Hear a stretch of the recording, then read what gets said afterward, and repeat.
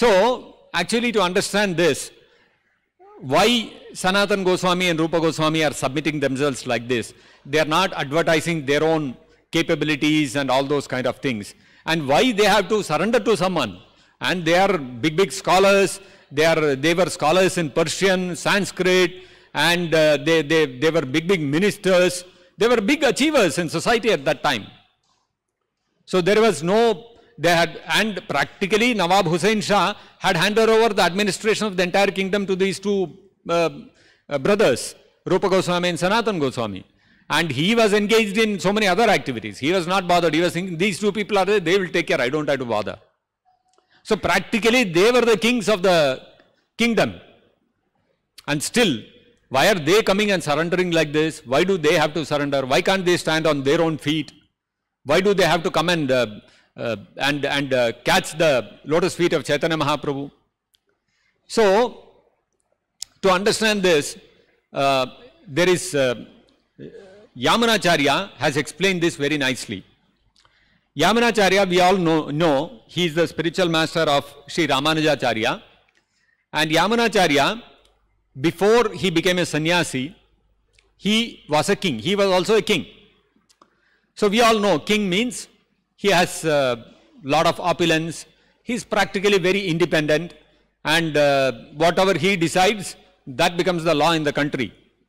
And whatever the king uh, uh, desires, it will be fulfilled. All his ministers, servants, army, everything is there at his disposal. The entire country is at his disposal. His entire kingdom is at his disposal.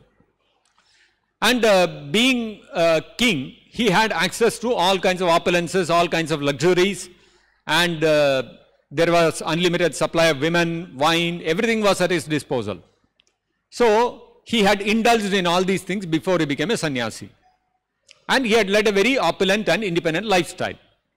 So, after he became a devotee, what was his approach? What was his, uh, his uh, attitude? He said, भवंतम एवानुचरन निरंतर भवंतम एवानुचरन निरंतर प्रशांत निशेष मनोरथांतर सो यामनाचार्य said भवंतम एव अनुचरन निरंतर by constantly nirantara without any stoppage antara means stoppage nira antara means without any stoppage that means not even a second you leave idle by constantly serving anucharan by constantly serving bhavantam you the supreme lord he is referring to krishna krishna the supreme lord by serving him constantly what happens nishesha manorathantaraha all our other desires vanish and we become prashanta, we become fully satisfied. We have no more hankerings. I want this, I want that, I should become this, I should become that, I should get so much money, I should become famous, I should become very powerful. All those desires are finished, over, complete. One is no more interested in all these desires. So, bhavantamevanucharan nirantaraha prashanta nishesha manorathantaraha. So, he is saying, by this what happens, further he says, uh, కదాహం ఐకాంతిక నిత్యకింకర కదాహం ఐకాంతిక నిత్యకింకర when will I desire now to become ఐకాంతిక your exclusive నిత్యకింకర exclusive and permanent servant so again you see he is also becoming talking of becoming a servant So why do all devotees want to become servants? Why can't they stand on their feet and become independent? Why don't devotees want to become independent? So he says, Praharshaishyami salatha jivitam. This is a very wonderful statement by Yamunacharya.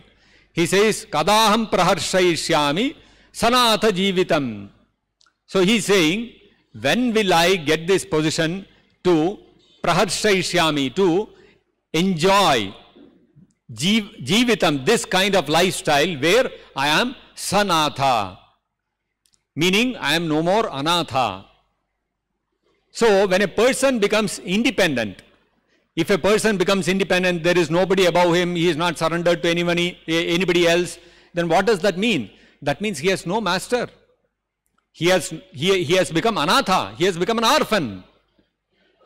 So, when a devotee is wanting to become a servant of the Supreme Lord, he is not wanting to become servant of some ordinary person.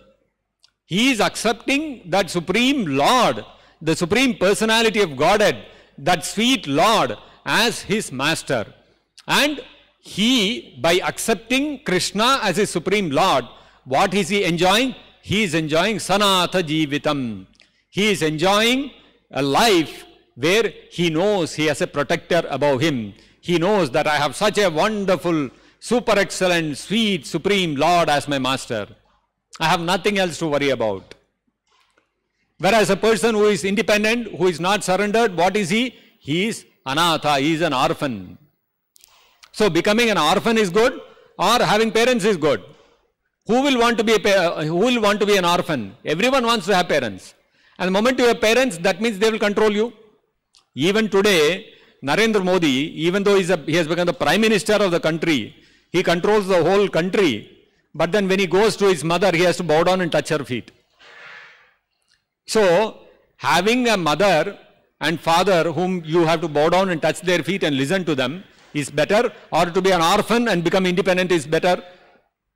Naturally, it is better to have parents, no? So, in a similar way, just like a child is very satisfied by having a parent who is very qualified and competent to protect him, to guide him, to, to constantly uh, monitor him, that for a child, that is, that is a very wonderful situation. No child is happy by being an orphan. So, in a similar way, a human being, any human being, can become completely happy and satisfied only when he becomes sanatha. Sanatha jivitam. And that kind of life is praharshaishyami, Yamunacharya says. That kind of lifestyle is not even harsha, it is praharsha. As uh, Srila Prabhupada says, harsha means it is happiness. Praharsha means prakrishta rupena harshati. Means he is very, very, you know, at a very high level he is enjoying. So one is enjoyment, but to enjoy, you know, in an unlimited way is completely different.